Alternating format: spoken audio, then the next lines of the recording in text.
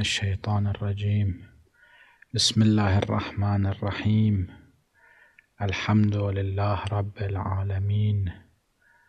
والصلاة والسلام على سيدنا محمد وآله الطيبين الطاهرين.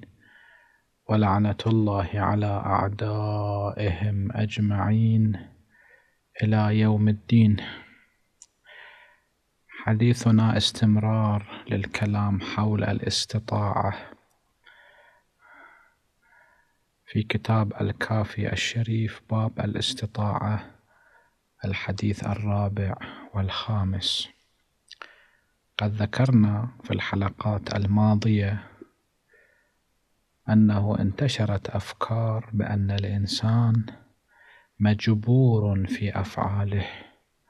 وكل أفعال الإنسان إنما هي بإرادة من الله سبحانه وتعالى وهذه الإرادة فسروها بالإرادة التكوينية والإرادة التكوينية لا تتخلف عن المراد لأن الله إذا أراد شيئا إنما يقول له كن فيكون. فالنتيجة الإنسان مسير وليس مخيرا. هذه الأفكار الباطلة التي تؤول إلى الجبر بل صريحها الجبر. هذا هذه الأفكار أولا هي تنقيص لله سبحانه وتعالى لأن العباد يفعلون القبائح. فهذه القبائح بناء على الجبر تنسب إليه وهو منزه عن ذلك سبحانه وتعالى. مضافا إلى أنه هذه الأفكار كان لها غرض سياسي بتخدير الناس لكي يرضوا بالواقع الذي يعيشونه من ظلم واضطهاد وتفسير ذلك بأنه إرادة وقدر من الله سبحانه وتعالى. فالأئمة من أهل البيت عليهم الصلاة والسلام تصدوا لهذه الموجة الجبرية وبينوا الحقائق. كما أن هناك جماعة وهم المعتزلة ظهروا وهؤلاء فوضوا يعني قالوا باستقلال العبد في أفعاله ولا دخل لله سبحانه وتعالى في أفعال العبد. نتيجة كلامهم عزل الله عن ملكه. وهذا أيضا فكر وعقيدة باطلة. فلذلك الأئمة بينوا أن هناك أمرا بين الأمرين لا هو جبر ولا هو تفويض. بعض المقدمات خارج عن اختيار الإنسان وبعض المقدمات باختيار الإنسان. وإنما كان الإنسان مختارا لأن الله أراد أن يكون مختارا. فليس هناك تفويض بمعنى عزل لله عن ملكه ولا هناك جابر بحيث أنه لا يكون للعبد دور في فعله. فتوضيح هذه الفكرة والأمر بين الأمرين كان يستدعي أيضا بيان معنى الاستطاعة لئلا يدخلون من مدخل الاستطاعة إلى الجبر. فلذا كان الأصحاب يأتون إلى الأئمة ويسألونهم أو الأئمة عليهم الصلاة والسلام هم ابتداء يبينون الحقيقة في هذه المسألة التوحيدية الهامة. الآن هذا الحديث الرابع. حمزة ابن حمران من أصحاب الإمام الصادق عليه الصلاة والسلام. زين هذا يعيش في الكوفة حسب الظاهر. والكوفة كانت معترك فكري كما كانت معتركا سياسيا. يعني كما أن هناك ثورات وتحركات سياسية كان مركزها الكوفة لسنوات طويلة سواء كانت محقة أو مبطلة. كذلك كانت هناك حركة فكرية علمية سواء في مسائل التوحيد والمسائل العقدية أم في المسائل الفقهية وكذلك سائر العلوم. فكان هناك من العامة فقهاء متكلمون. من المعتزلة ومن غيرهم. وكان هناك من الشيعة وكانت هناك فرق أخرى أيضا من مراكزها الهامة الكوفة. فكانت تحدث مناظرات بين الشيعة وهم كانوا يشكلون الأقلية وأولئك الذين يشكلون الأكثرية. وأحيانا كانوا هؤلاء الشيعة حينما لا يجدون جوابا شافيا وافيا في الحج أو في العمرة يسألون الأئمة عليهم الصلاة والسلام ثم ينقلون علومهم إلى سائر الناس.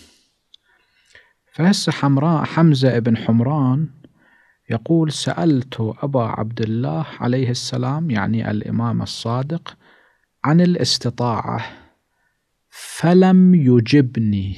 الإمام ما أجاب. طبعا بين قوسين نذكر. أن الأئمة هم أعرف بتكليفهم وبوظيفتهم. أحيانا ما كانوا يجيبون السائل لأن السائل لم يكن يستوعب الجواب. أحيانا الفكرة دقيقة جدا فبيانها غير مجدي لعدم فهم السائل. مثلا هذا الشيء آخر كمثال نذكره ذكره المفسرون أو بعض المفسرين في هذه الآية. يسألونك عن الأهلة قل هي مواقيت للناس والحج.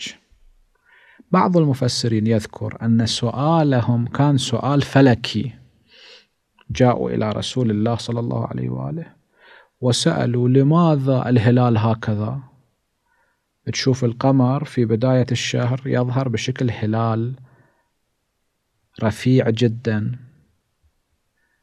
ثم بعد ذلك سماكته تبدأ بالزيادة إلى أن يصبح بدرا.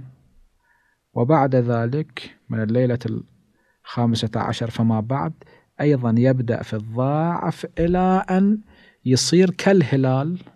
وبعد ذلك يدخل في المحاق. لليلة أو ليلتين ثم يظهر مرة أخرى. لماذا هكذا هو الهلال؟ زين هذا السؤال فلكي. هذا السؤال الفلكي يحتاج إلى خلفية من العلوم الفلكية. أن الهلال أن القمر له وجهان وجه مقابل الشمس دائما ووجه مظلم هذا عكس الشمس دائما.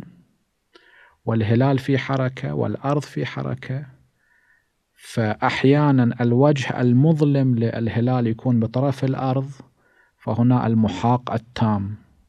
وتارة الوجه المضيء للقمر يكون بوجه الأرض فهنا يكون البدر.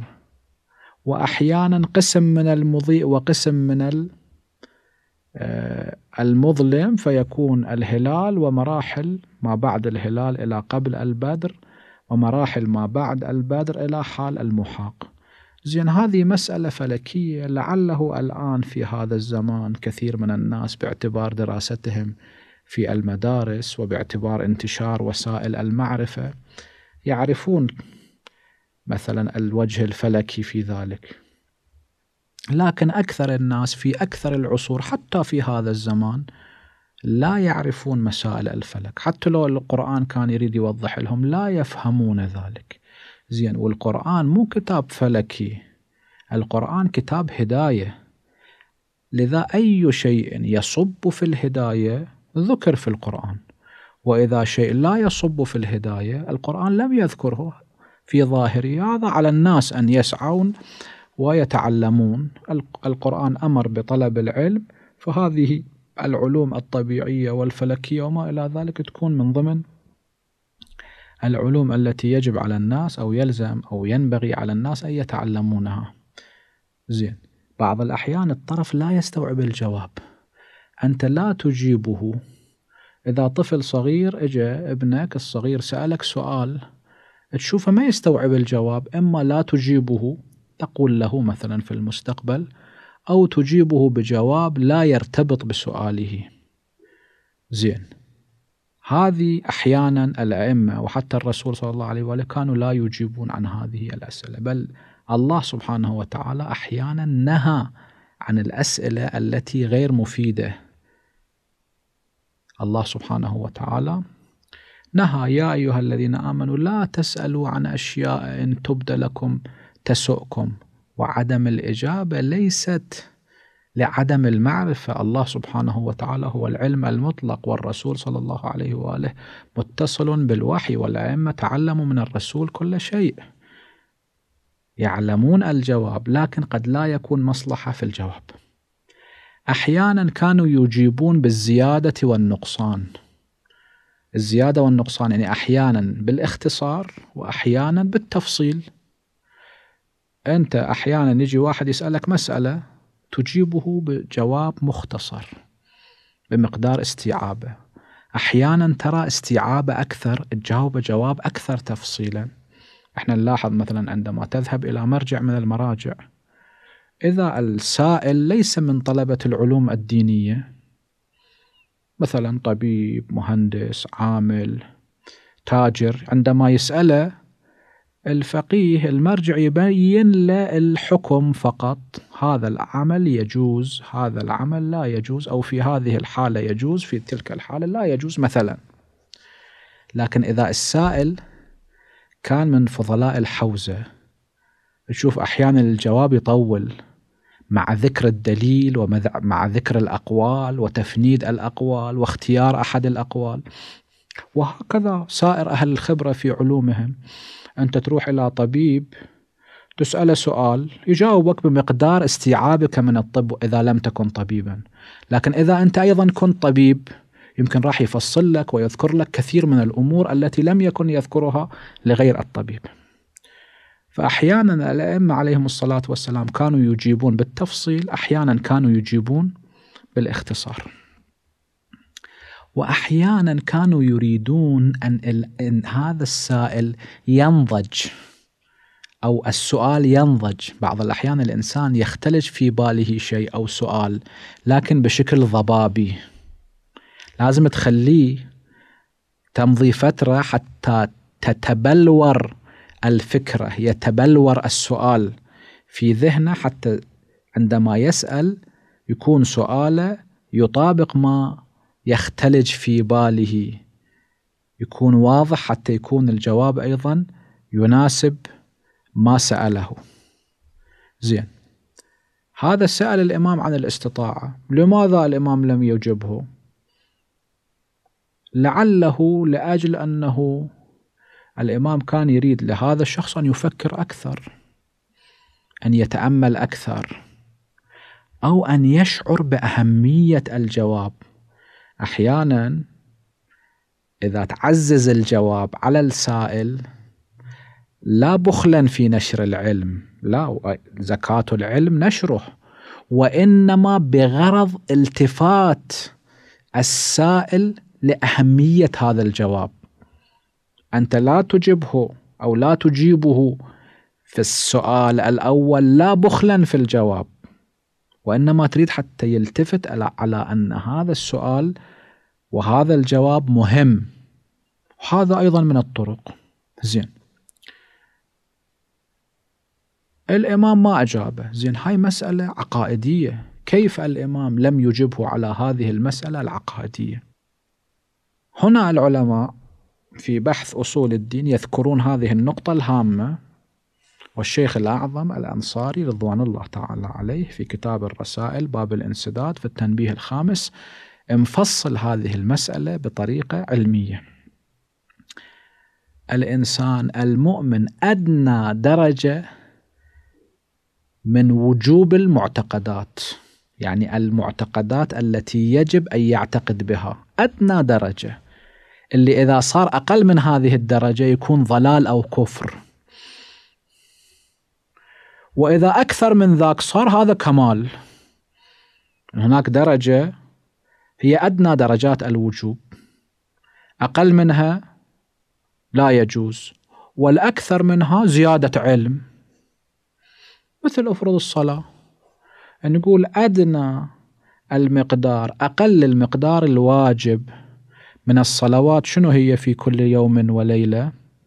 يقولون خمسة صلوات 17 ركعة. أقل من هذا حرام. يعني واحد لا يصلي صلاة الصبح مثلا أو لا يصلي صلاة الظهر لا يجوز.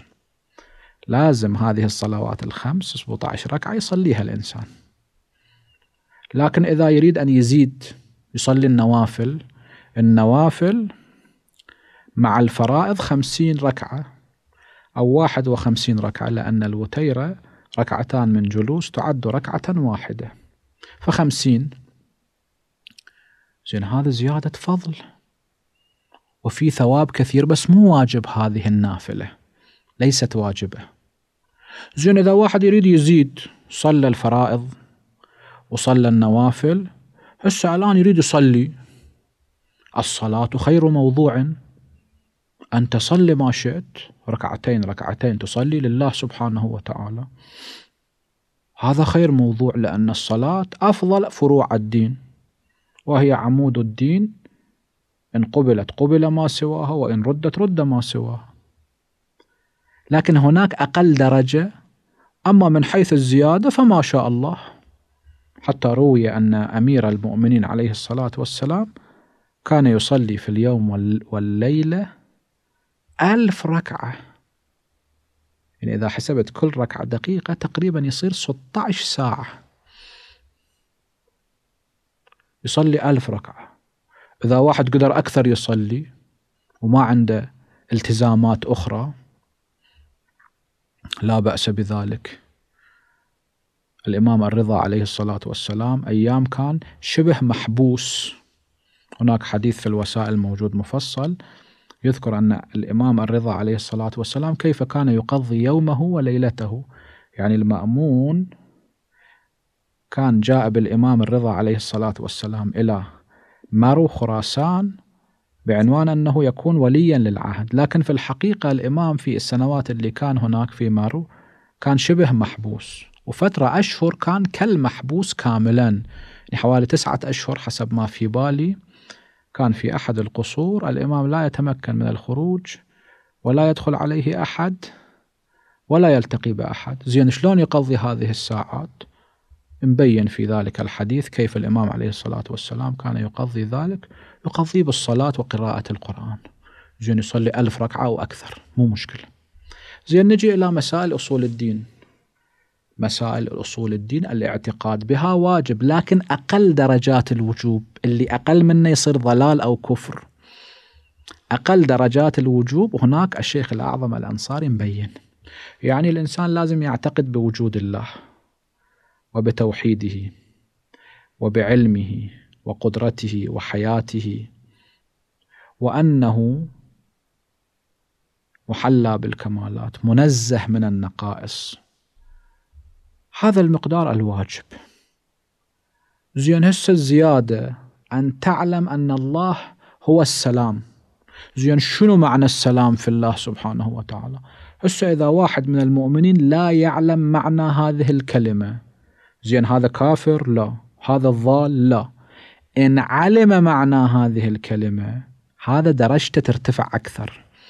يعني الله له الصفات الحسنى لكن إذا واحد غير هذه الصفات الأساسية العلم والقدرة والحياة والحكمة وأمثال ذلك اللي الحكمة والسميع والبصير هذه ترجع إلى العلم أيضا.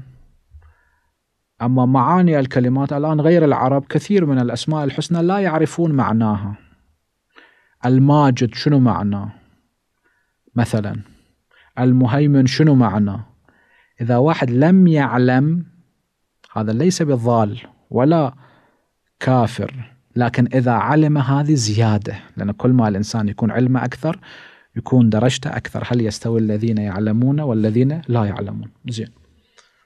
بالنسبة للنبوة أن تعلم طبعا بالنسبة إلى التوحيد العدل الاعتقاد بعدل الله سبحانه وتعالى أيضا هذا لازم. بالنسبة للنبوة أن تعتقد أن محمدا صلى الله عليه وآله هذا مبعوث من قبل الله سبحانه وتعالى وأنه خاتم وخاتم الأنبياء لا نبي بعده. وتعرفه بنسبه المعروف. وأنه فتكل في آخر الزمان يوجد نبي. هذا هذا المقدار مو مو مقبول. لازم تشخصه كشخص. وأنه معصوم وأن الله سبحانه وتعالى أوحى إليه وأن الشريعة التي جاء بها إنما هي من قبل الله سبحانه وتعالى وأنه منزه من النقائص ومحلى بالكمالات. زين هل مقدار الإنسان يعلم به؟ لكن سيحتاج أن يعلم تفاصيل حياة الرسول وتفاصيل صفاته. كله. إذا لم يعلم هذا لا خلل في عقيدته لكن إذا علم وإذا معرفته ازدادت فدرجته تزداد.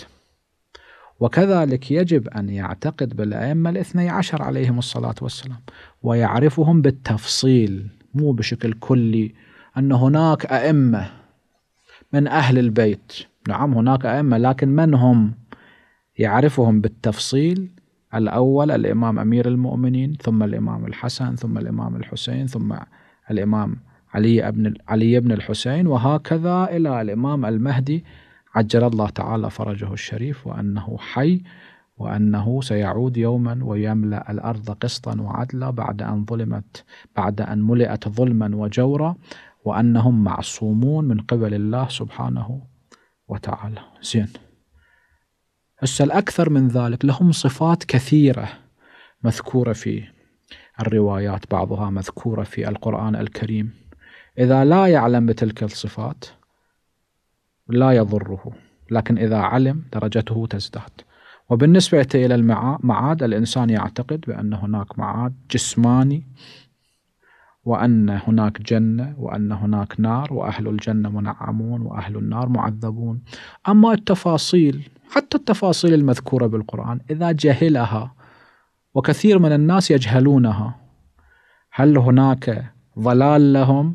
يعني هسه ما يدري تفاصيل الأعراف. وعلى الأعراف رجال يعرفون كلا بسيماهم. إذا لا يعلم بذلك خاصة الذين هم لا يعرفون اللغة العربية ولم يتعلموا هذه الأمور هذه التفاصيل. وأن عذاب النار كذا الخصوصيات وأن في الجنة كذا وكذا خصوصيات الجنة إذا لم يعلمها هذا لا يضر به. نعم هناك مسألة أخرى أنه يلزم أن لا ينكر.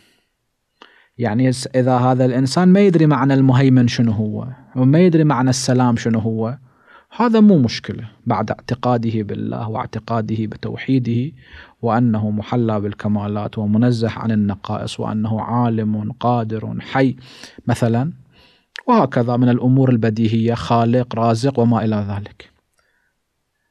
لكن هسه ما يدري معنى المهيمن شنو هو ما يدري معنى السلام شنو هو مو مشكلة لكن لازم لا ينكر. فإذا أنكر شيئا من المعتقدات ورجع إنكاره إلى تكذيب الله وإلى الرسول صلى الله عليه وآله هذا يكون كافر. لكن إن لم يرجع إلى التكذيب قد يكون ضالا. طبعا المسألة فيها تفصيل أنا بينت بشكل مختصر بالمقدار الذي يرتبط بشرح هذا الحديث. سألت أبا عبد الله عن الاستطاعة فلم يجبني. فدخلت عليه دخلة أخرى. مرة ثانية دخل على الإمام فقلت أصلحك الله. إنه قد وقع في قلبي منها شيء. أنا في قلبي الآن أكو اضطراب. لا يخرجه إلا شيء أسمعه منك. وهذا الإنسان عقيدته بالإمام كانت عقيدة تامة. قلبي الآن مضطرب. لا أعرف الحق. تجي شبهات في ذهني احتمالات أفكار. أنت كلمتك كلمة الفصل فقلها لأرتاح. لأن الإمام هو وصي الرسول والرسول صلى الله عليه وآله تلقى من الوحي الحق الذي يكون بعده الضلال. يعني إذا واحد ما اعتقد به يكون قد يكون ضالا. إنه قد وقع في قلبي منها شيء لا يخرجه إلا شيء أسمعه منك. الإمام شنو جاوبه؟ فإنه لا يضرك ما كان في قلبك. الإمام قال إذا الشيء في قلبك لا يضرك. لماذا؟ لأن مسألة الاستطاعة ليست من أساسيات أصول الدين. اللي إذا واحد ما عرف معناها يكون كافر أو إذا ما عرف معناها يكون ضال. هسه أنت ما تعرف معناها. مو مشكلة. هذا احتمال في كلام الإمام. أو الإمام عليه الصلاة والسلام كان يعلم ما يعتقده ولو هو فيه اضطراب في قلبه لكن يعلم بأنه قلبه ماذا يعتقد وكان يعتقد الصحيح. فلذا قال له لا يضرك. قلت أصلحك الله. يبدو هذا كان إلى إصرار شديد حتى يطمئن قلبه. ولكن ليطمئن قلبي. إني أقول هذا كلامي صحيح لو مو صحيح. يعني عرض ما يعتقده إلى الإمام عليه الصلاة والسلام. إني أقول إن الله تبارك وتعالى تبارك يعني دام خيره فتبارك الله أحسن الخالقين يعني خيره مستمر ودائم ثابت من البركة. هذا تبارك يرتبط بصفات الفعل وتعالى يرتبط بصفات الذات وأنه تعالى جد ربنا هو الماجد الرفيع العظيم. إن الله تبارك وتعالى لم يكلف العباد ما لا يستطيعون. لا يكلف الله نفسا إلا وسعها لا يكلف الله نفسا إلا ما أتاها. لم يكلفها ما لا يستطيع لأن الكلام حول الاستطاعة أنت لا تستطيع مجبور مو مكلف. لكن الله سبحانه وتعالى لم يكلف لم يكلفك إلا ما تقدر عليه. لم يكلف العباد ما لا يستطيعون. ولم يكلفهم إلا ما يطيقون. الفرق بين الفقرتين. أنه إحنا عندنا استطاعة عقلية وعندنا استطاعة شرعية. القدرة العقلية بمعنى أن الإنسان يتمكن ولو بمشقة. الاستطاعة الشرعية معناها أنه يتمكن من غير مشقة. فإذا كان مشقة شديدة لا تكون استطاعة شرعية أو استطاعة عرفية. مثلا يكلف واحد بدون آلة يطير في السماء. هذه لا قدرة عقلية له يعني لا يتمكن من ذلك إذا أراد. أما واحد مريض يكلف بأن يصوم حتى الموت هذا لا طاقة له بذلك لكن يتمكن من فعل ذلك أن يمسك عن الطعام إلى أن يموت إلى قدرة عقلية. لكن طاقة عرفية وشرعية ما عنده. ذول اللي يضربون عن الطعام إلى حد الموت فهو يتمكن أن لا يأكل شيئا إلى أن يموت. الله لم يأمرك بذاك ما لا تقدر عليه بالقدرة العقلية ولم يأمرك بهذا ما لا تستطيع بالإستطاعة الشرعية. ولله على الناس حج البيت. من استطاع إليه سبيلا؟ من استطاع يعني شنو؟ يعني يتمكن بسهولة يذهب. أما إذا واحد حبوان وزحفان يريد يذهب هذا لا يقال له مستطيع شرعا. واحد اللي ما عنده فلوس متسكعا يذهب هذا لا يقال له مستطيع شرعا. وإن كان مستطيع عقلا أن يتمكن أن يذهب إلى قدرة لكن بطريقة فيها ضرر وحرج عظيم فهذا لا يعبر عنه بقدرة شرعية. لم يكلف العباد ما لا يستطيعون ولم يكلفهم إلا ما يطيقون. وإنهم لا يصنعون شيئا من ذلك إلا بإرادة الله ومشيئته وقضائه وقدره. هذا شرحناه في الحلقات الماضية. لا يكون شيء في هذا الكون إلا بإرادة ومشيئة وقضاء وقدر من الله سبحانه وتعالى. الله قدر وقضى وأراد وشاء. لكن هل هذه تستلزم الجبر؟ ألا. قال لم يكلف العباد ما لا يستطيعون لكن في الوقت نفسه أراد. شلون يصير؟ شرحناه في الأمر بين الأمرين. إرادة موجودة لكن ليست إرادة حتم. الله أراد أن يكون الإنسان قادرا مختارا. وأراد أن يكلفه بالواجبات والمحرمات وأراد أن لا يجبره. فالإنسان باختياره يفعل أو باختياره يترك. فالله أراد لكن ليست إرادة إجبار إرادة اختيار. والعبد اختار أو لم يختار فالإرادة موجودة القضاء موجود القدر موجود المشيئة موجودة لكن العبد أيضا مستطيع ومختار. والأمر بين الأمرين هو هذا وفي حلقات مفصلة شرحنا هذه الفكرة. زين شنو هذا الكلام؟ يسأل الإمام عليه الصلاة والسلام. أنا هكذا أعتقد. قال فقال هذا دين الله الذي أنا عليه وآبائي؟ أو كما قال.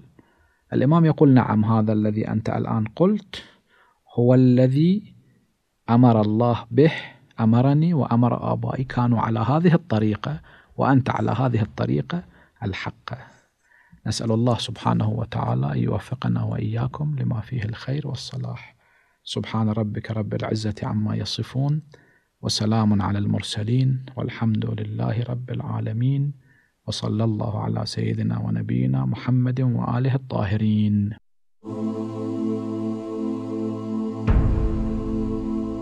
Oh.